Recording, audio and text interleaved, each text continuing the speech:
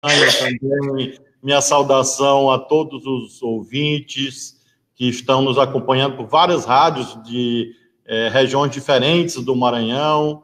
É, minha saudação especial a todos que nos acompanham aqui do Maranhão, mas também de outros estados brasileiros. Presidente, bom dia. Uma alegria recebê-lo aqui nessa conversa. Eu pedi que fosse hoje, porque hoje é o dia de São Pedro. São Pedro é o padroeiro dos pescadores, aquele que Jesus Cristo disse que era a pedra sobre a qual se construiria a sua igreja. Então é uma data muito forte na fé do povo brasileiro, aqui no Maranhão muito especialmente, se nós não tivéssemos esse terrível problema do coronavírus, nós teríamos agora milhares de pessoas é, em frente à Capela de São Pedro, celebrando a, a, a festa, a cultura popular do nosso estado, do nosso país. Infelizmente, nada disso foi possível, mas é um dia muito especial no calendário da, da religião do nosso país. É, homenagem a Pedro, aquele que coordenava os apóstolos, padroeiro dos pescadores e a cultura.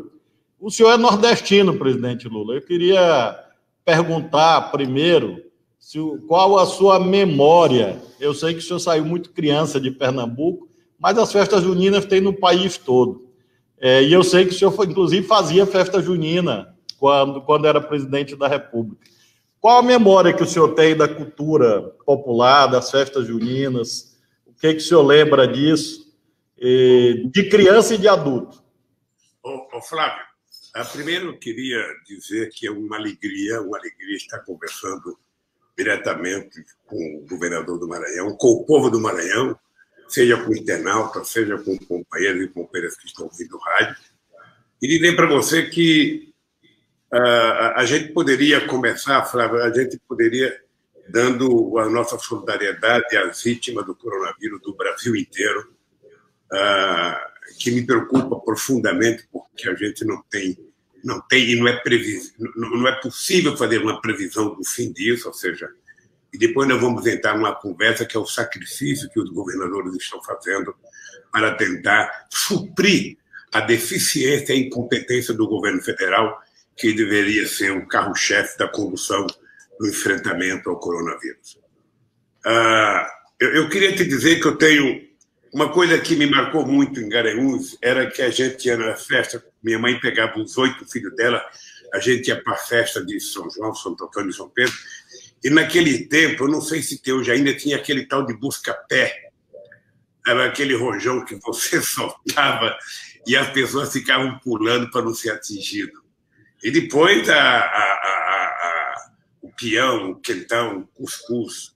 Eu tenho muita lembrança disso quando eu tinha sete anos de idade e até quando eu vim para Santos, em 1952, ainda em São Paulo, tinha muita festa junina, se comemorava muito.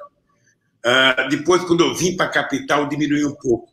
Quando eu voltei para Brasília, quando eu assumi a presidência da República, uh, a Marisa resolveu toda a festa junina a gente fazer uma festinha lá com muita música caipira, com muito peão, muito quentão, e as pessoas, cada convidado levava o doce que gostava de comer, a, o peão, a pipoca.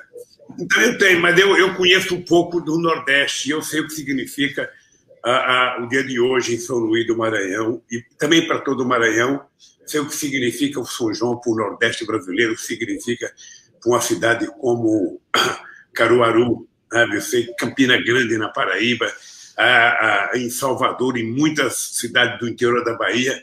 Eu tenho certeza que muitas e muitas e muitas do Maranhão é, é uma festa popular, é uma festa barata, é uma festa que o povo vai, sabe, e se diverte muito, de forma muito barata. E é uma pena que o vírus, sabe, não, não, não, não, não tem a dimensão do que significa para o povo pobre do Nordeste brasileiro. Essa e todas as outras festas, ou seja, se o vírus tivesse assistido um bom meu boi, certamente ele não estava perturbando o povo de, de São Luís, estava deixando o povo se divertir, o povo brincar, sabe, como sempre brincou. Então, a minha lembrança é de uma cultura riquíssima do Nordeste, ah, uma cultura barata, uma cultura sabe, que, que, que é feita, parece que para pobre, parece que, parece que no Nordeste as, as festas são feitas mais para pobre. em São Paulo tem a festa para os ricos e tem a festa para os pobres na periferia, que também é muito grande, viu, Flávio?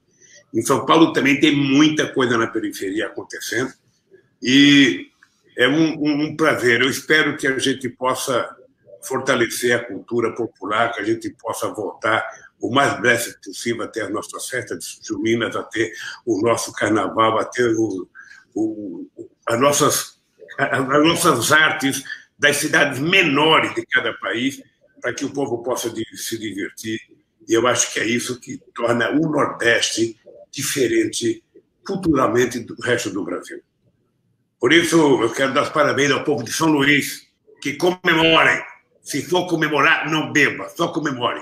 Mantenha a distância, use máscara e não faça aglomeração.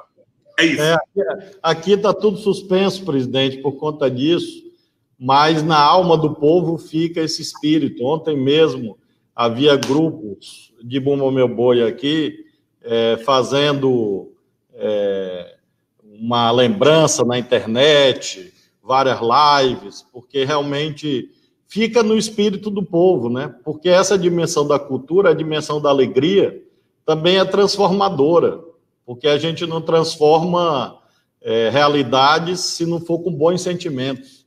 Bom, Flávio, então, você vai ver uma coisa fantástica que vai ter muitas lives, muitas lives, com o conjunto completo, cada um na sua casa, e termina sendo um show bonito. Aliás, as lives é uma coisa fantástica, porque ela está permitindo que o povo que não pode pagar um show veja uma quantidade enorme de shows na televisão.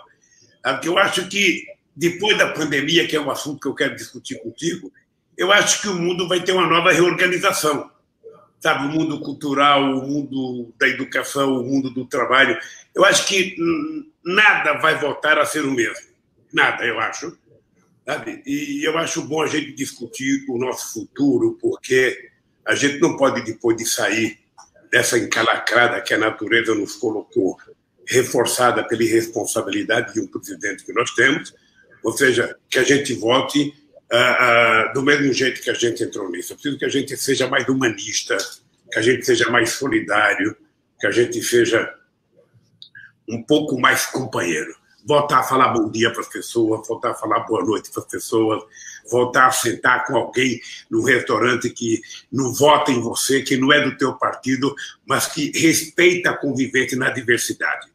Eu acho que é esse país que nós vamos construir depois dessa crise, viu, Flávio?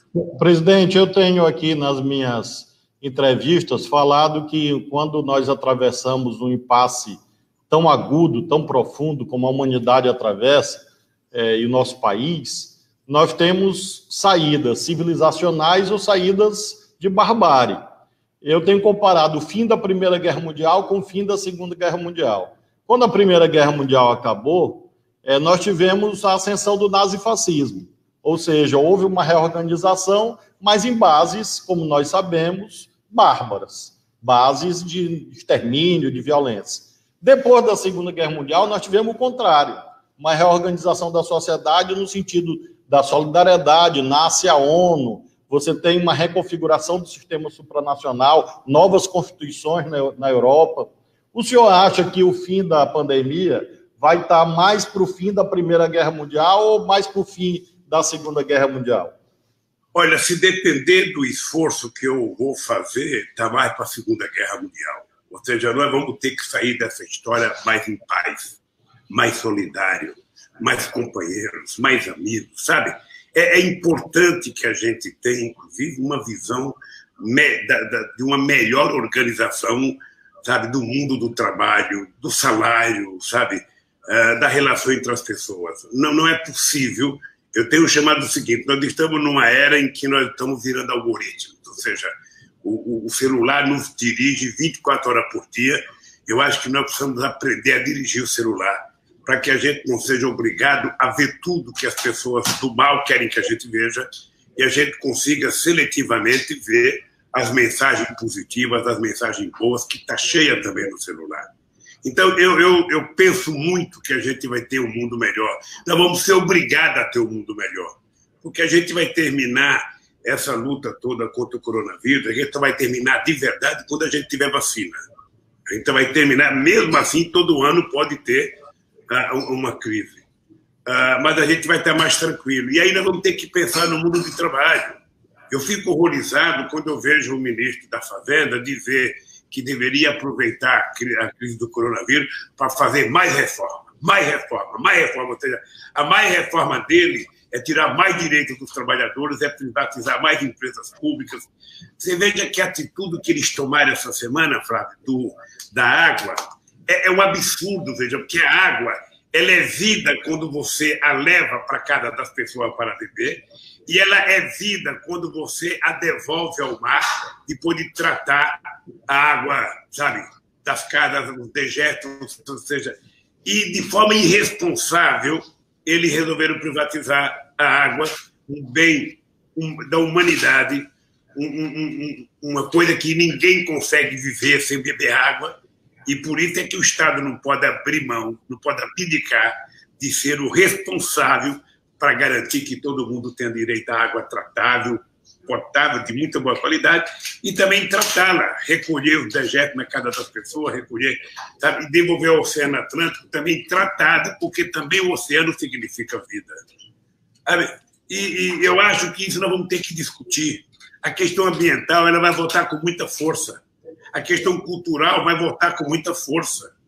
Vai voltar com muita força, ou seja, não é possível, num país do tamanho do Brasil, com a quantidade, com a riqueza da cultura popular, com a riqueza dos artistas que nós temos, o presidente não ter competência para escolher um secretário da cultura, um ministro da cultura. Ou seja, então ele vai colocando as pessoas contrárias. Ele parece que está fazendo uma reversão do bom senso. Ou seja, eh, coloca no meio ambiente um cara que odeia meio ambiente, coloca no direitos humanos uma pessoa que odeia o humano, coloca na educação um cara que odeia a educação, coloca na cultura uma pessoa que odeia a cultura. Ou seja, onde é que nós vamos parar? Onde é que nós vamos parar assim?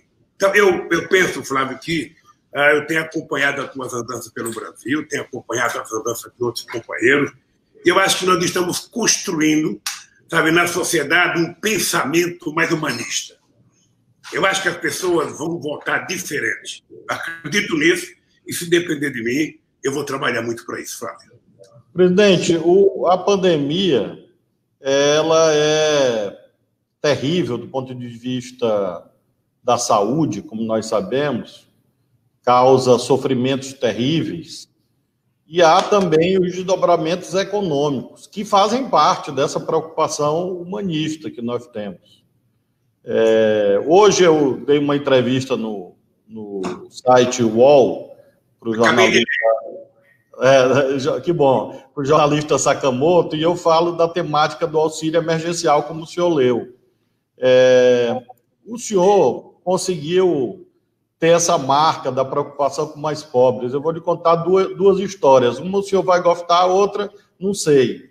A primeira foi uma senhora que eu inaugurei uma escola digna e ela veio, ela um pequeno sítio na frente da escola. Ela me chamou pelo muro e disse: Meu filho, ela já é uma senhora já no rumo dos 80.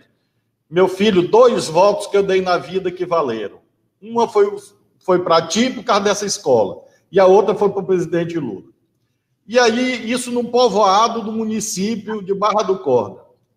A outra história uma senhora no município de Vargem Grande, no dia que eu inaugurei um restaurante popular. Ela me chamou, isso ano passado ainda, dizia assim: eu queria lhe fazer um pedido.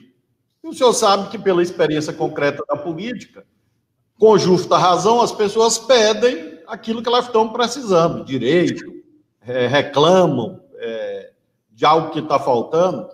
Ela virou para mim e disse: Eu quero lhe pedir só uma coisa. Eu digo: Pois não, senhora cuide do nosso velhinho. Aí eu fiquei sem entender direito. Eu digo, velhinho. Aí disse, qual velhinho? O Lulinha. Então, essa parte eu não sei se o senhor vai gostar muito, porque ela disse que o senhor era o velhinho dela. Mas ela, ela com uma sinceridade, diz assim: cuide do nosso velhinho, defenda o nosso velhinho. Isso mostra, presidente, isso são coisas recentes, não são coisas antigas, não. Isso é coisa do, do ano passado e de 2018. Eu queria lhe perguntar como isto é, se vinculou ao povo com tanta profundidade, no coração da gente mais simples, Isso derivou de opções. E o senhor tem falado muito de colocar os pobres no orçamento. Luz para todos é colocar o pobre no orçamento, Bolsa Família é colocar, universidade, ProUni, tudo isso é colocar os pobres no orçamento. O que, é que o senhor acha que hoje, no Brasil, a gente tem que fazer, nós juntos, como nação, para colocar de novo os pobres no orçamento?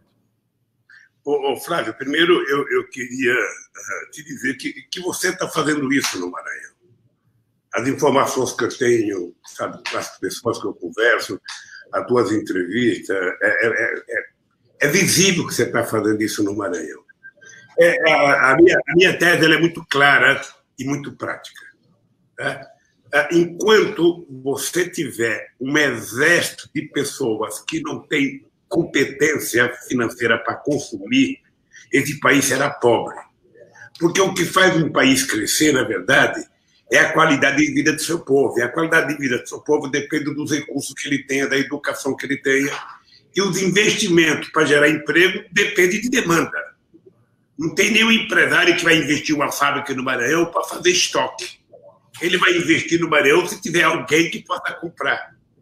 Por isso é que o, o, o, o Bolsonaro está encantado em, em, em em criar. Você viu que ele agora está disputando com o Bolsa Família. Eu vi uma entrevista dele dia que ele está disputando. Porque ele tem um sonho de acabar com o Bolsa Família e colocar outro nome. Né? A renda básica, que inclusive é um projeto de lei que nós aprovamos quando eu era presidente, para a gente colocar em prática na medida que a gente tivesse condições. Eu, eu não importa qual seja o nome, não importa qual seja o presidente, eu espero que seja uma pessoa, sabe, de esquerda, uma pessoa progressista, uma pessoa que tenha sentimento social, ah, para compreender o seguinte: não é possível você deixar o povo fora do orçamento, porque o povo ele não é problema, ele é a solução. Eu, eu dizia isso. Você não sabe, ô Fábio, quantas brigas eu tive com o ministro da Fazenda, que as pessoas não têm dimensão do que é pobre. As pessoas não têm dimensão do que é pobreza, não. As pessoas acham que pobre é apenas um número estatístico que você pode utilizar em campanha. 13 milhões de pobres, 14 milhões de pobres. Sabe? O, o pobre você só vai conhecer porque a, a, a pobreza, o cara que está com fome, você está do lado dele conversando e você não está vendo a dor que ele está sentindo. É, a pessoa não sabe o que é isso. E eu, eu me convenci que esse país, eu falo, só vai para frente o dia que a gente extirpar desse país a pobreza. E a ela se extirpa com desenvolvimento econômico, com muitos milhares e milhões de micro e pequenas empresas produtivas, com muita capacidade de produzir com qualidade, de exportar, com mercado interno muito forte, porque a base da economia de qualquer país é o mercado interno. Sabe? É o mercado interno, ou seja, ah, ele é que dá a base para os investimentos nos países. E eu estou convencido que nós poderemos resolver isso. O Brasil, veja, agora nessa crise é um exemplo. Eu vou dizer para você uma coisa, a melhor coisa que aconteceu uh, para enfrentar a crise foi o Conselho do Nordeste que vocês criaram. Vocês estão, vocês estão tendo um problema, vocês estão sendo vitimados pela arrogância e pela ignorância do governo, pela ignorância do Guedes.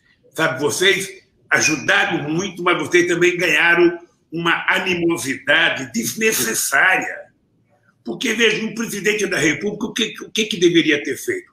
Deveria ter reunido os 27 governadores de estados, reunido um conselho de especialistas, pegando alguns pesquisadores competentes no Brasil, sabe? Pegando tipo da Fiocruz, tipo do o, o, Instituto Butantan, pegando médico especialista, juntar com os governadores, com o secretário de Estado, com o ministro da Saúde, estabelecer uma estratégia para que vocês levassem aos prefeitos. E o governo deveria fazer com que escoasse o dinheiro no tempo certo para você fazer as coisas no tempo certo. Porque quando o dinheiro chega, sabe? E você, eu, eu lembro que o presidente de Gana, quando eu ganhei as eleições, acho que na primeira semana ele telefonou para mim em Brasília pedindo dinheiro para comprar um avião, pedindo um avião em Ipanema para acabar com a praga de gafanhoto. Eu, na época, na minha inocência, achei que era rápido. Chamei o Gustavo Sabonin e falei, certo, olha, vamos falar com o Congresso Nacional e vamos dar um avião para o presidente do, do, do, Senegal. Demorou oito meses, rapaz. O gato e outro comeram tudo. E aí eu liguei para o presidente para pedir desculpa. Ele falou assim para mim, Lula, não tem problema. na outra praga, sabe, o avião vai estar aqui, eu não vou deixar acontecer. Então, o, que, o que, que nós, nós deveríamos ter evitado? A praga chegar ao tamanho que chegou. Se as pessoas tivessem se comportado dignamente, sabe, orientado por um governo que desorientou. Ia custar menos dinheiro, as coisas iam ser feitas na hora certa, e o dinheiro tinha que fluir. Ô, Flávio, eu estou discutindo com os economistas aqui. Ah, eu, se fosse o governo, eu tinha feito o tesouro rodar dinheiro novo. Rodar dinheiro novo é o seguinte: nós estamos em guerra e nós vamos vencer essa guerra. Então, nós vamos utilizar quanto de dinheiro for necessário para salvar vidas. Depois a gente vai discutir. Quando acabar a guerra, nós vamos discutir. E eu dava como exemplo o Roosevelt. Imagina se o Roosevelt fosse, fosse discutir o orçamento dos Estados Unidos para preparar para entrar na segunda, na segunda Guerra Mundial. Você sabe quanto o Brasil gastou, Flávio, do orçamento na Guerra do Paraguai 11 orçamentos. O Brasil gastou 11 orçamentos para vencer a Guerra do Paraguai. Ó, nós precisaríamos gastar, se fosse necessário, um orçamento inteiro para salvar o povo brasileiro do coronavírus. Depois que a gente tiver com a vida salva, a gente vai discutir como resolver. A sociedade teria interesse de discutir. A sociedade teria interesse de encontrar uma solução. E aí, você, com esse dinheiro, você cuidaria só da só do coronavírus e você poderia, você poderia pegar um pouco das reservas, transformar em reais e fazer um investimento de infraestrutura para começar a gerar emprego e para tornar o Brasil preparado para a produção de por terminar esse coronavírus. O governo não está fazendo nada, o governo só fala em vender, agora quer vender Banco do Brasil, Eletrobras, Caixa Econômica Federal, ou seja, e vai vender o pré-sal na nossa cara. Vai vender o pré-sal. Ou seja, então, não vai dar certo, Flávio não vai dar certo. Presidente, o senhor, Quer entrar em política, que eu acho que a nossa conversa não precisaria entrar por isso, mas é o seguinte: se o Bolsonaro não mudar de comportamento, nós vamos nos arrastar até 2022 chorando a morte de milhares e milhares de companheiros nesse país que poderiam ser salvos. Poderiam ser salvos porque você, governadores, provaram que tem competência para fazer. Agora, muitas vezes, a dificuldade que vocês enfrentam, o dinheiro não chegar na hora, o financiamento não chegar na hora, o leito não chegar na hora, o remédio não chegar na hora, obviamente que dificulta. E o povo do Maranhão, o povo do Brasil tem que saber o seguinte: somente quem pode produzir dinheiro novo é o presidente da República, é o governo federal. O governador não tem como produzir. O governador, no máximo, pede e fica esperando. E ao invés do presidente da República atender com carinho, ele fica xingando os governadores, fica avacalhando com os governadores, quando ele deveria ser o responsável de tratar os governadores do jeito que os governadores estão tratando ele. Então, o crescimento econômico, meu caro Flávio, vai ser uma tarefa extraordinária para a gente trabalhar no próximo período. O senhor sabe que o comentário que eu ia fazer é que essa ideia que o senhor apresenta de uma coordenação nacional foi apresentada ao, ao Bolsonaro pelo ministro Gilmar Mendes, do Supremo. Quando houve aquela decisão do Supremo, entendendo que os governadores e os prefeitos poderiam agir, nos termos do artigo 23 da Constituição, em nenhum momento o Supremo disse que o governo federal estava afastado do problema. Pelo contrário, é uma federação. O senhor foi presidente da República. O presidente, a, a esfera federal, a União, no caso, o governo federal, tem esse papel de coordenação, que não foi exercido nessa temática sanitária como deveria. E agora, na questão econômica, o senhor falou de vários caminhos, e principalmente esse tema do financiamento monetário. Eu estou muito preocupado, nós começamos falando de festa junina, é, da cultura, nós temos perda de renda. Quando a gente deixa de fazer festa junina, a economia da cultura para, tem até uma lei aí votada no Congresso para o Bolsonaro implementar, que a Jandira Fegali foi relatora, a lei Aldir Blanc de apoio à cultura, é, você desorganiza cadeias produtivas. E eu estou vendo agora, presidente, e eu queria lhe ouvir sobre isso, a dificuldade de micro e pequenas empresas. Porque com muita é, muitos obstáculos, o auxílio emergencial, por esse período, está andando. Nós queremos que ele aumente, que ele seja prorrogado. Mas a situação das micro e pequenas empresas, agora, é dramática, porque havia uma ideia, o senhor falou de demanda, de que bastaria abrir tudo que o consumo ia voltar. E agora muita gente está descobrindo que não. Eu vi uma nota agora da Associação Brasileira de Shopping Center dizendo que em São Paulo a queda das vendas tinha sido de 70%, de 80%. O senhor não acha que esse dinheiro de micro e pequena empresa tinha que se transformar também no auxílio, ou seja, em vez de crédito, depositar direto na conta das micro e pequenas empresas, como a Europa fez em vários países. Claro que com contrapartidas sociais, manter emprego.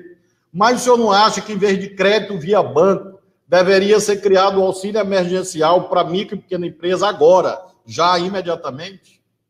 Olha, eu acho, Flávio, eu acho, porque e quando você utiliza a palavra crédito, significa que o dinheiro tem que estar lá no dia seguinte, quando a pessoa precisa.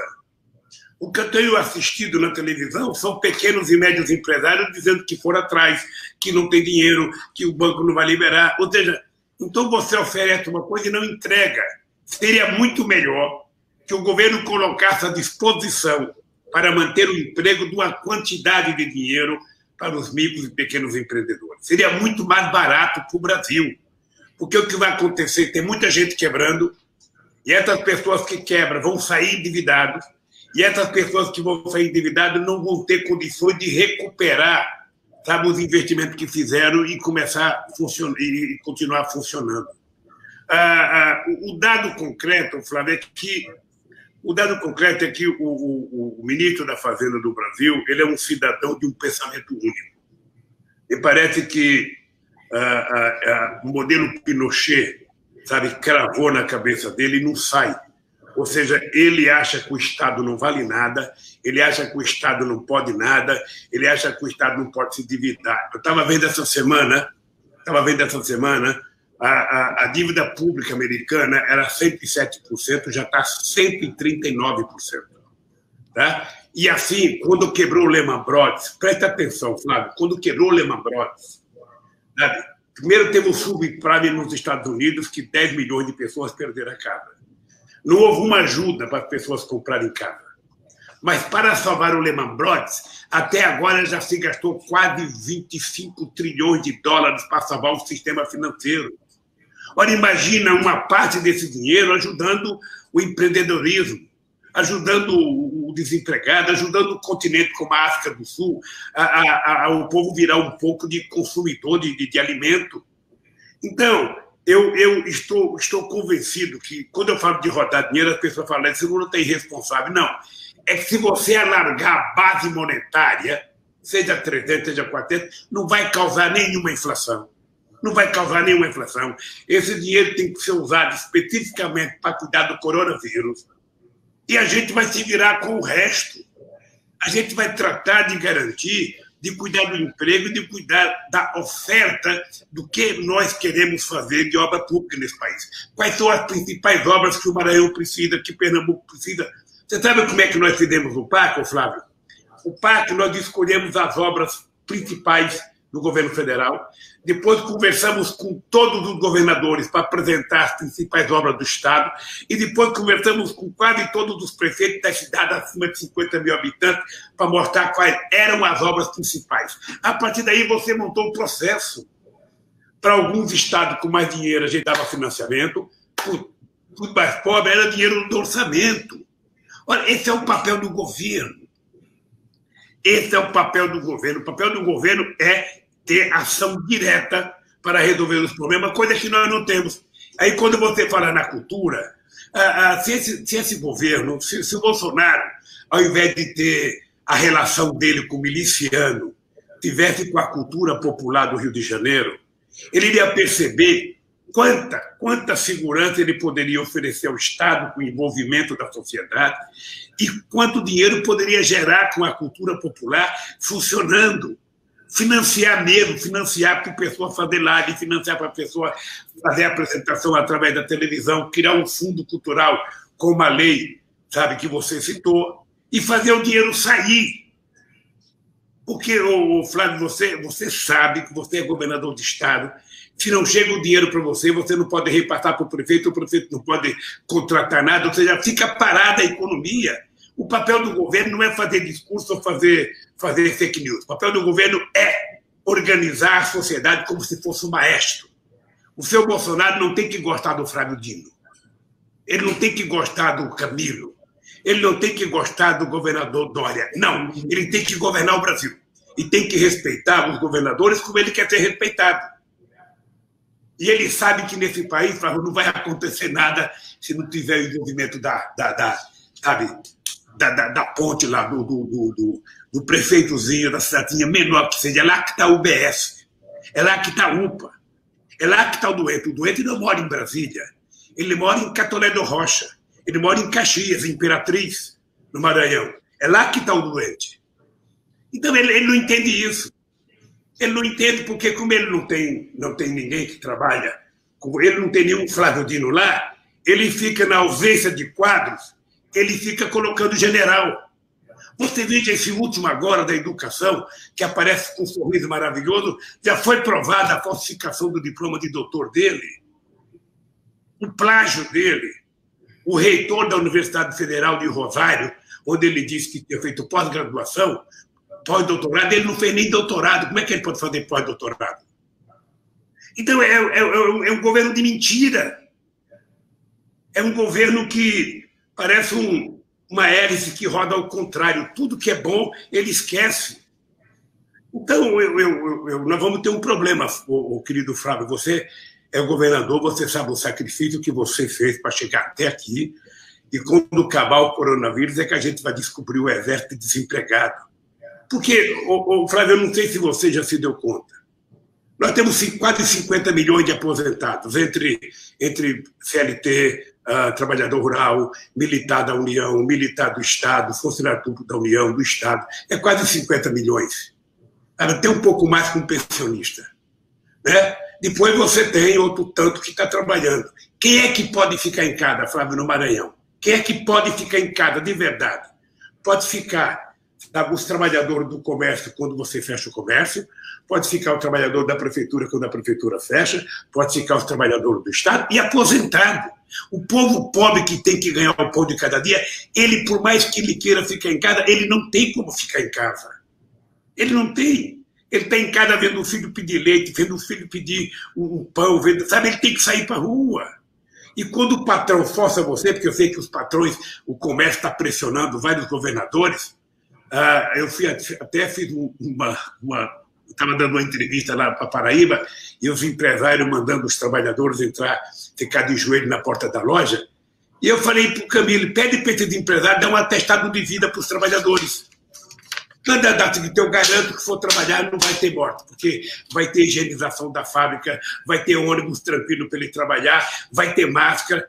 Dê garantias. Porque quando morre um trabalhador, o patrão está pouco ligando, ele contrata outro. E você? O que, que vai fazer? Vai chorar. Então, Flávio, eu, eu, eu penso, veja, eu, eu peço a Deus que cabe logo esse coronavírus para a gente poder sentar e fazer uma conversa de verdade com algumas pessoas que, no meu entendimento, são imprescindíveis para a gente recuperar a credibilidade. Porque você sabe, você foi juiz, você é um homem de muita experiência, você sabe o seguinte: olha, ninguém, ninguém faz nenhum investimento em lugar nenhum se não tiver credibilidade de quem está dirigindo e se não for previsível sabe, as coisas que vão acontecer. O Brasil não tem credibilidade, não tem previsibilidade e o governo é o governo mais desmoralizado no planeta Terra hoje. Então, quem é que vai investir aqui? Quem é que vai investir aqui? Cara, eles falam em investimento, mas não tem. Então, Flávio, eu acho que nós vamos ter muito trabalho. Eu, eu como você disse no começo, que a velhinha disse que para cuidar do velhinho, eu tenho dito, eu tenho dito o seguinte: eu tenho 74 anos de idade, em outubro agora eu faço 75 anos de idade, mas eu estou com a motivação política de 30. Eu estou muito à vontade, muito à vontade, sabe? Eu já, já, já fui tudo que eu poderia imaginar na vida. Aliás, eu fui muito mais. Acho que Deus foi tão generoso comigo que se eu fizer hora extra, mas 100 anos eu não consigo pagar o que Deus já me deu. Tá? Mas eu não posso abdicar e tentar provar para a sociedade que o Brasil tem jeito. E para ter jeito tem que ter um homem sério, sabe, para governar esse país. Então eu estou nessa, querido, estou nessa, sabe, estou parabenizando o teu trabalho, eu vejo o esforço, sabe, do, do, do Camilo, do Ricardo, do, do nosso indinho, do teu vizinho aí, do, do, do nosso companheiro Wellington, a coitada da Fátima sofrendo com o pão que o diabo amassou, porque aquela elite do Rio Grande do Norte nunca fez nada para aquele Estado. Nunca fez nada.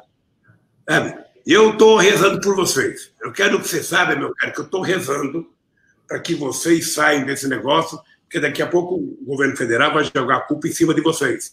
Eu falei, eles não me escutaram, eles não me entenderam, eles não me atenderam, sabe?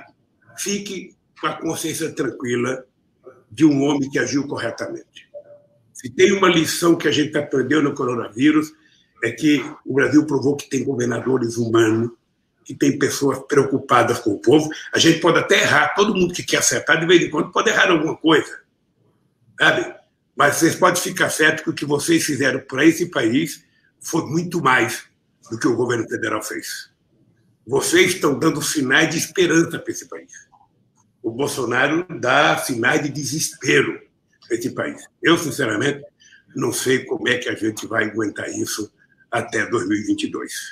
Eu espero que não seja necessário. Presidente, é, é, difícil de fato, porque às vezes dá até solidão, né?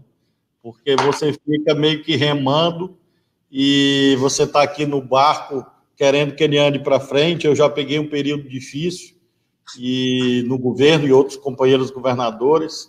E se a gente tivesse todo mundo junto na direção certa, já seria difícil porque o coronavírus é um desafio para a humanidade, desafio para a ciência.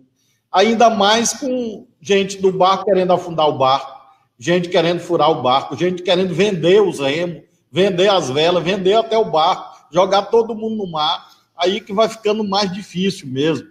E tem um segmento que o senhor mencionou agora, é, que vai tem é, ganho agora um, uma, uma visibilidade que são esses trabalhadores informais. O senhor mencionou há pouco a distinção que há entre os formais e os informais. E nós, há quem fale até em uberização, precarização geral dos trabalhadores.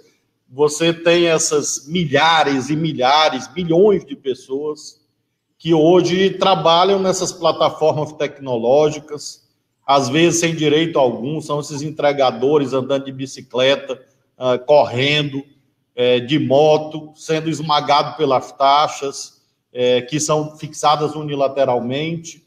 São pessoas realmente é, que aparentemente viveriam no século XXI no que se refere à forma de trabalho, mas no século XVIII no que se refere ao mundo dos direitos. Eu queria lhe ouvir um pouco sobre isso, porque nós já falamos do empreendedorismo, que é muito importante, do, do pequeno e micro empresário para gerar emprego, dos formais.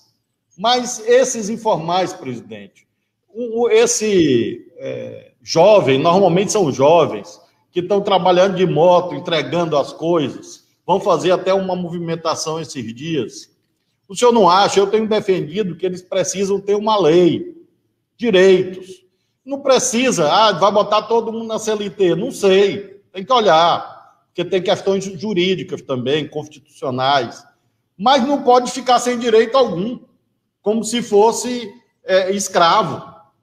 E eu queria ouvir uma mensagem sua, para, sobretudo esses jovens que se Olha. formam, a gente está fazendo investimento gigantesco em educação, escola de tempo integral. E às vezes vem um menino de 16, 17 anos e diz assim para mim: Beleza, Flávio, escola de tempo integral, você está fazendo, como estamos fazendo escola técnica.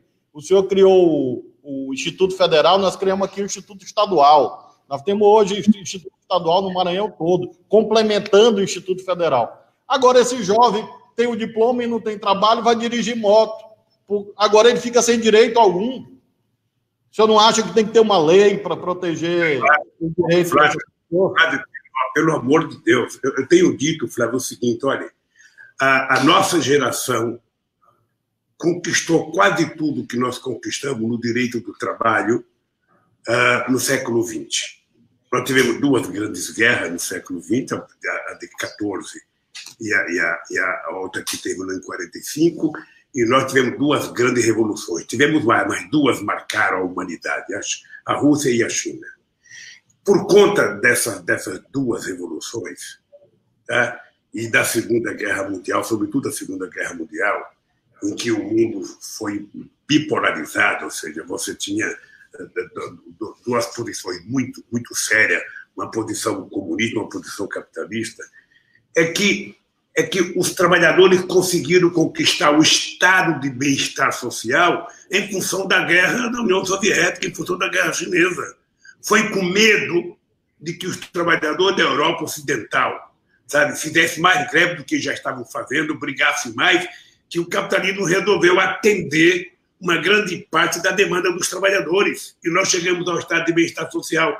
Aqui no Brasil, nós não chegamos a isso mas nós estamos perdendo tudo que nós conquistamos no século XX, no século XXI. É, é indescritível. Eu lembro, eu, o, o, o, Flávio, como eu sou mais velho do que você, eu participei da greve de 62 pelo 13º salário. Eu participei daquela greve, eu já estava dentro de uma fábrica com 15 anos de idade. Eu, eu, então, nada, nada que os trabalhadores conquistaram veio de graça, foi muito sacrifício, muito, mas muito sacrifício. Eles acabaram com tudo. E, e, e, para os trabalhadores, acabaram com o direito e vender a ideia de que todo mundo era microempreendedor. Agora que as pessoas estão descobrindo, o companheiro está numa moto entregando pizza meia-noite, uma hora da manhã, entregando outra coisa de bicicleta. Se ele se acidentar, ele não tem nenhum, nenhum, nenhum, nenhum plano de segurança para lhe garantir. Se ele se acidentar, ele é mandado embora sem nenhum direito. Se roubar a bicicleta dele, ele não tem como receber. Se roubar a moto, ele não tem como receber. Então, ele não é microempreendedor, é quase que um microescravo. A gente não gosta de falar isso, mas no tempo da escravidão, o senhor do escravo era obrigado a ter responsabilidade com a comida do escravo e com a saúde do escravo, porque era uma propriedade dele. Olha, depois de nós fazermos greve, guerra, revoluções e ganhar um estado de bem-estar social, eles tiraram tudo, em nome da modernidade. Eu vi naquela reunião, aquela reunião ah, ah, ah, que eu não sei aonde foi feita, aquela que eles falaram muita bobagem, o Guedes falar para o Bolsonaro, se eu fizer mais um pouco de reforma, eu vou gerar mais 4 ou 5 milhões de empregos. E o Bolsonaro acredita. Ele não vai gerar coisa nenhuma, ele vai gerar é subemprego de pessoas, sabe, que não tem nenhuma qualificação. Qual é a qualificação de entregar pizza? Qual é a qualificação de entregar almoço? Eu vi um motoqueiro falar uma coisa linda. Eu falei, é muito difícil a gente andar, sabe, com um cheiro de comida atrás da gente e a gente com fome na frente. É, é, é verdade, eu falo. Então é preciso a, a, eu acho que a Justiça do Trabalho deveria ter reagido mais, acho que o Ministério Público do Trabalho deveria ter reagido mais, sabe? Mas nós vamos ter que reagir. Não tem jeito, nós vamos ter que fazer uma lei para regulamentar o direito dessas pessoas que estão deserdadas pelo Estado brasileiro. E aí eu volto a uma coisa que você perguntou agora há pouco, ô Flávio, que eu acho fantástico, é o seguinte, imagina você se não existisse o SUS no Brasil. Imagina, o SUS, o SUS é responsável por estar salvando esse país. E, e é, é boa essa elite lembrar que 63% do leito do SUS foram feitos em 13 anos de governo do PT. É importante lembrar. Porque eles, são, eles mostram os defeitos, eu tenho que mostrar as virtudes. Ou seja, e o SUS, você está lembrado, dia, em dezembro de 2006, sabe, para terminar o meu primeiro mandato, os tucanos tiraram a CPMF, a pedido do Paulo Scaff, a pedido para tirar tiraram 40 bilhões de reais. Eu mandei uma carta para ser lida pelo Pedro Simão, dizendo que se fosse aprovada a CPMF, eu daria 100% de CPMF para a saúde. Eles acabaram. E acabaram por ignorância, porque muitos que votaram para acabar com, com o CPMF, foi governador dois anos depois. E aí é que se deu conta da necessidade, da, da necessidade do dinheiro. Eu acho, não sei se você pensa assim, Flávio, eu queria ver a tua opinião. Eu acho que o coronavírus, sabe, a necessidade de combatê-lo fez com que a sociedade entendesse que o Estado não pode ser um Estado mínimo. O Estado não pode ser fraco. Eu não quero um Estado empresário, mas eu quero um empresário, um, um Estado indutor. O Estado tomando decisões. O Estado fazendo cumprir as coisas. Porque não é possível um Estado que não pode nada. Tá, você tem agência para tudo agora, ou seja, você tem um ministro, mas o ministro não pode nada porque a agência está lá. Quem é que indica os caras da agência? São os empresários. Então, o Estado brasileiro foi privatizado. Foi privatizado, é só você olhar da agência quem é que está lá dentro. O senhor sabe, aí, que, em relação ao SUS, é, é, importante até uma pesquisa, o senhor conhece muita gente de, universi de universidade, quem ampliou leito nessa crise foi a rede pública. Eu lembro que em, do, em 2019, a agenda que se falava era de acabar com o SUS, governo federal, e colocar no lugar um voucher, um cupom, um vale, um cartão, um plano de saúde. Ou seja, a gente ia andar para trás. O senhor sabe o que teria acontecido se isso tivesse ocorrido? As pessoas iam ter até o voucher na mão, vamos imaginar que tivesse.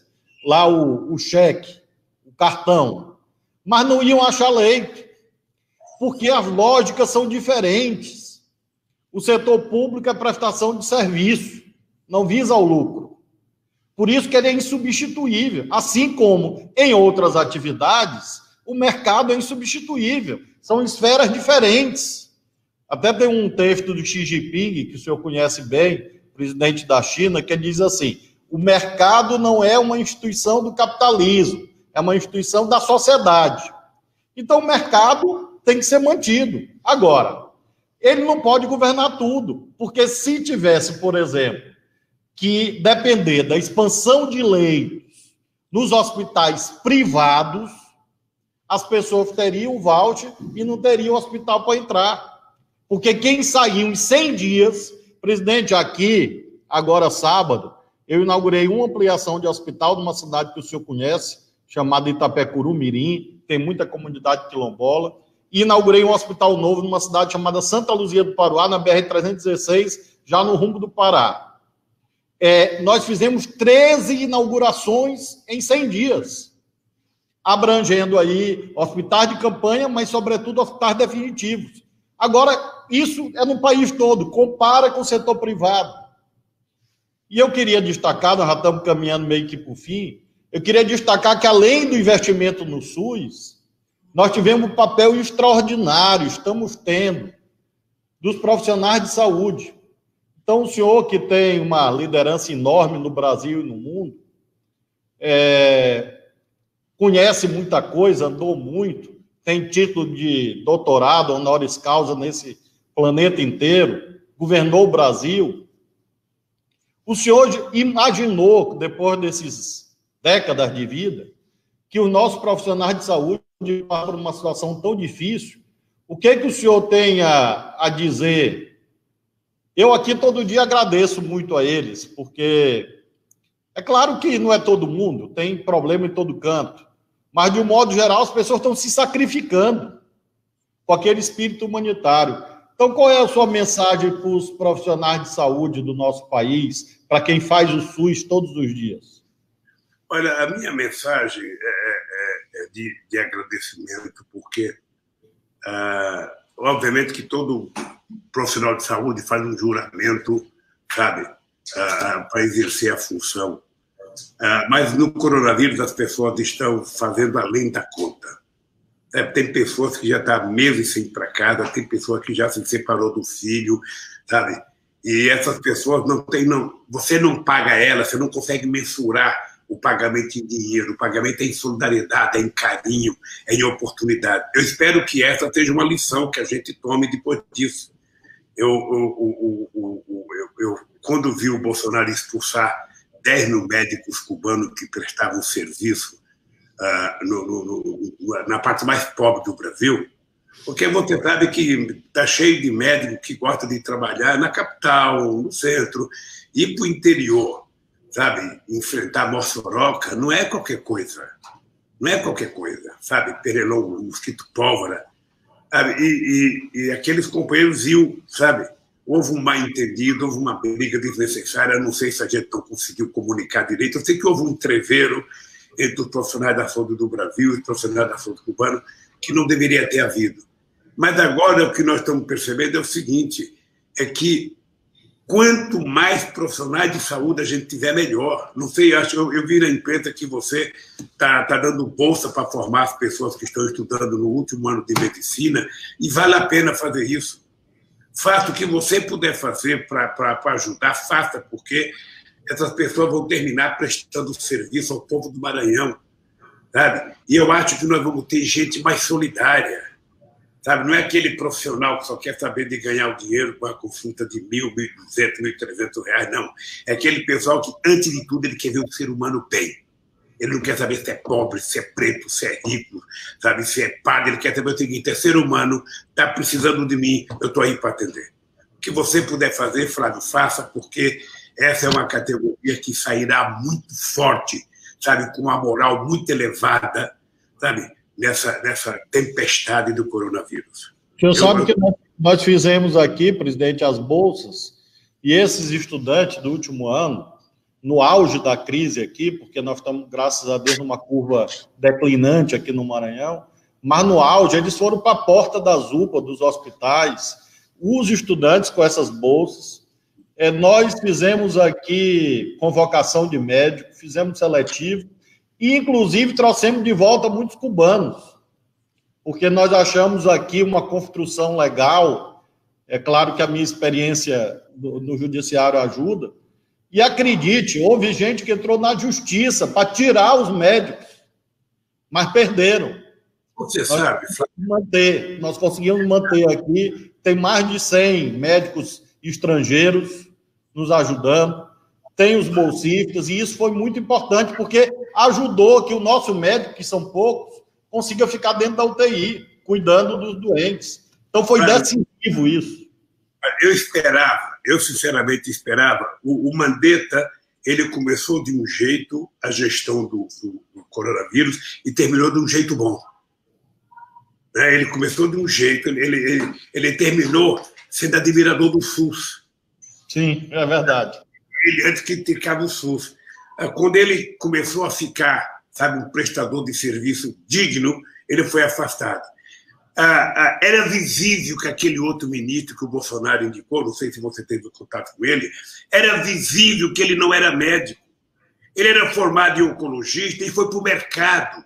Ele foi vender, ele foi vender tratamento de oncologia. Ele não era um médico, ele não sabia o que era um SUS, ele não sabia o que era uma UPA.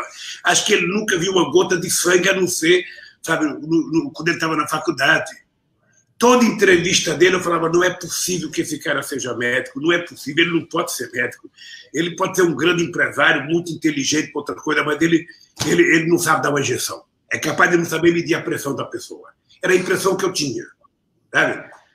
Aí sai esse cara também, ele saiu porque estava ficando ridículo. Ele sai e vem um general. Olha, o, o general também dá de cara a ideia de que não entende de saúde não entende de SUS, não entende de, de, de, de UBS, não entende de, de, de, hospital público, e levou logo de cara mais 18 generais para lá, não sei para quê. Sabe, um, um desrespeito. E o que eu fico triste é que o Conselho Nacional de Medicina, os conselhos estaduais, deveriam estar protestando. Não é fazer só uma notinha e deixar. Devia estar protestando, deveria marcar reunião com o presidente e falar: nós, do Conselho Nacional de Medicina, não aceitamos alguém que não entenda de saúde. Cara, esse general devia estar preparado para estar defendendo a segurança nacional, a soberania nacional. Mas se meter numa área que ele não conhece, Flávio, é muito delicado. Sabe? Continua, sabe o que vai acontecer, Flávio? Em algum momento, em algum momento vai manchar o nome das Forças Armadas Brasileiras, que não deve se meter a fazer o que não sabe fazer. não deve se meter a fazer o que não deve fazer. Porque o Bolsonaro, como ele não tem, como ele não tem, não tem gente preparada do lado dele, ele se, se escuda no militar. Tem tanta gente na educação nesse país, gente fantástica na educação nesse país. No Maranhão deve, ser, deve ter uns 50, em Pernambuco deve ter uns 50 altamente qualificados. Não, ele vai buscar um cara que falsificou o diploma. Pô. É um, um, presidente, um, um, presidente que ele trabalha contra a verdade, contra o bom senso. Sabe? Então, eu, eu acho, oh, Flávio, por Deus do céu, olha, eu, você não sabe o orgulho que eu tenho de vocês, governador nordestino. Você não sabe do orgulho porque uh, eu sei o que o Nordeste tem passado na história do Brasil. Que depois de 1808, sabe, que a riqueza foi canalizada, sabe, todo para Minas Gerais a partir de 1690, com o, o, o, a, a, a enxurrada de ouro, ou seja, o Nordeste foi empobrecendo, empobrecendo, empobrecendo, empobrecendo, e de repente a gente consegue ser o lugar do Brasil que tem governadores mais jovens, governadores eh, que renovaram a política, mais atuantes, com mais vontade de brigar, sabe? E, e, eu só queria te pedir uma coisa, Flávio, não desanime nunca. Se você sair na rua e um cara te xingar qualquer coisa, não dê bola, não. Sabe? Continue trabalhando, porque uh, eu acho que qualquer pessoa que entender de política sabe que vocês estão fazendo as coisas certas, que o conselho é uma coisa nobre, sabe? que é difícil, mas vocês estão dando um jeito. Você está lembrado? A gente tinha criado o conselho de prefeitos para comprar coisa mais barata, para comprar. Sabe? Está provado que tem jeito o Brasil. Está provado que o Brasil não pode ficar dependendo da esmola do presidente da República. O presidente da República, quando ele promete, quando ele promete, faz uma acordo e promete passar dinheiro para o Estado, esse dinheiro tem que sair na, na semana seguinte.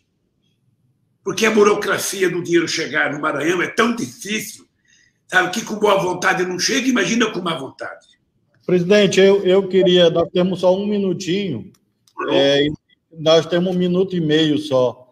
É, e eu queria que agradecer muito ao senhor, agradecer a todos que nos acompanharam e, e queria que o senhor deixasse uma mensagem, como eu deixo também, de solidariedade às famílias das vítimas do coronavírus, é, porque a gente precisa ter ideias, mas ter, acima, acima de tudo, sentimento, coração. Então, obrigado ao senhor, obrigado a todos que nos acompanharam e passo o senhor para a mensagem de encerramento, dedicada a essas famílias. Flávio, eu queria, queria primeiro te agradecer o carinho e, e, e, eu tenho acompanhado um pouco a sua vida, as suas andanças. Uh, quero agradecer o que você tem feito pelo povo do Maranhão, sabendo que quando a gente governa, a gente nunca consegue fazer tudo o que precisa fazer, por mais que a gente queira fazer, às vezes a gente não consegue fazer. Uh, a gente não deve fazer nada esperando agradecimento. Né? A gente, quando governa, a gente faz as coisas porque sente que é necessário fazer, mas não vai ficar esperando agradecimento como o Bolsonaro. Tudo que ele faz, ele quer um agradecimento. Eu quero dizer ao povo do Maranhão para ter fé em Deus, que de cabeça erguida, com muita vontade de lutar, a gente vai terminar aprendendo muito e vai sair muito forte dessa crise do coronavírus. A gente vai ver. Eu, eu, eu tenho, às vezes, a esperança de que Deus faz as coisas, sabe, escreve certo por linha torta. Quem sabe esse susto que a humanidade está tendo é para a gente se dar conta de que cuidar do meio ambiente não é uma coisa, sabe, secundária, não. Cuidar do meio ambiente é uma coisa muito séria, muito séria. Então, nós precisamos cuidar com muito carinho, sabe? Nós temos que cuidar da nossa água, nós temos que cuidar da nossa floresta, nós temos que cuidar, sabe, da nossa alimentação. Nós precisamos, sabe, da importância para isso, porque tudo isso significa vida. Na medida que a gente vai destruindo, destruindo, a gente colhe uma praga como essa. Não sei se você está vendo, até uma praga de gafanhotos chegou, estava ali no Uruguai, na Argentina. Eu pensei que não existia mais no Brasil isso, e vai chegar. Isso significa que nós estamos mexendo de forma errada na questão ambiental. Então, eu quero te agradecer e quero que você saiba que você tem um amigo aqui em São Paulo. Um amigo para muitas coisas nesse país, tá? Eu vi uma cena ontem do cara falando que a palavra mais bonita que ele aprendeu foi no, no, no, no cara que ensina Libra, sabe, que essa aqui é a palavra amigo, ou seja, que é a palavra mais forte que ela aprendeu. Então, eu quero dizer, dizer olha, conte comigo, sabe, em qualquer circunstância, porque o Brasil está precisando de gente séria. E você e o nosso governador do Nordeste têm dado um exemplo para nós. Tá? Não baixe a cabeça nunca, nunca, sabe? Porque se eles botarem uma cangaia, você terá dificuldade de levantar a cabeça. Um abraço, um abraço para a família, sabe? E um abraço ao meu querido povo do Maranhão e ao povo do Bumba Meu Boi. Obrigado, presidente. Obrigado pela sua gentileza. E o senhor está devendo a visita aqui no Maranhão, viu? Eu estou devendo, mas aí é, é, é, Mas só depois do coronavírus.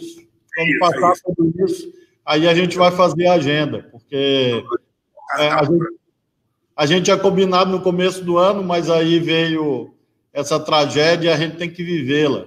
Abraçar sempre todas as, as famílias do nosso estado, do nosso país. E o senhor representa muito para a história do, do Brasil. Flávio, se você não leu ainda, leia esse livro, ó, 1889. Do Laurentino, né? Eu li o livro dele sobre escravidão, o volume 1. Tem um de escravidão, tem 1822, 1808 e 1989. Se lê desses três livros, a gente vai ter claro o que aconteceu nesse país durante o período da escravidão. Eu estou lendo a biografia do Mandela. Abraço. Ah, eu li. Eu li, eu estou lendo a biografia do Mandela. O senhor conheceu o Mandela, né? Conheci, conheci. Conheci o Mandela lá na África do Sul e conheci em, em Cuba. Eu participei do 1 de maio com o Fidel e com o Mandela. É, deve ter sido um momento memorável, porque eu estou lendo a biografia e estou encantado com a. Claro que eu conhecia, mas uh, o senhor falou aí desse livro. Eu não trouxe o meu para mostrar, mas eu estou lendo a, a, a biografia do Mandela, porque o, a experiência do CNA, do Congresso Nacional Africano, acho que ensina muito para o Brasil também, para esse momento que o Brasil vive. Presidente, obrigado, viu? Meus agradecimentos aos internautas e a todas as rádios. Presidente, nós tivemos conosco aqui dezenas de rádios, quero agradecer a todos os radialistas. Muito obrigado aos internautas também. Obrigado a todo mundo. E fique com Deus e bom feriado, querido. Amém. Obrigado, presidente. Tchau, meu irmão.